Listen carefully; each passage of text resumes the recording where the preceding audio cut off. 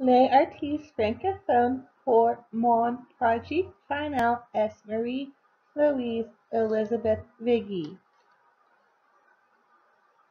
Elle est née en mille sept cent cinquante-cinq. Elle était une fille d'artiste, son père un peintre et sa mère une um coiffeuse. C'est un peintre de son père. Elle a fait six cent soixante portraits et deux cents peintures de paysage.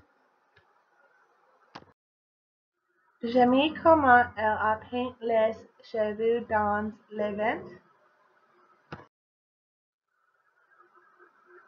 Voici quatre autoportraits.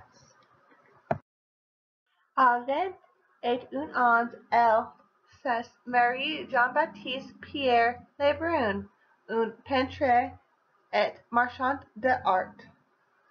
Quatre ans plus tard, elle avait une fille, non Jolie. Vigée Lebrun était invitée au château de Versailles par Marie-Antoinette pour peindre. Elle a peint plus de trente portraits de la reine et de sa famille. Marie Lebrun était communément appelée portraits officielle de Marie-Antoinette pour une décennie. Ses peintures et de Marie-Antoinette paraissent plus conviviales au public. Pendant la Révolution française, elle a fui la France. Elle est allée en Italie puis en Russie. En Russie, sa fille Julie est épouse un noble russe.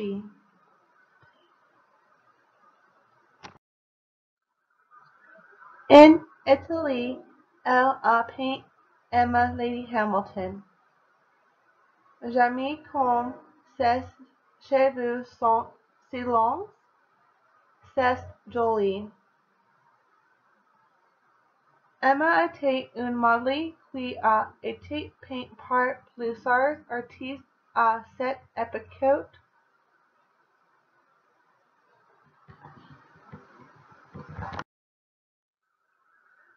Elle est revenue à Paris quand Napoléon est devenu un empereur.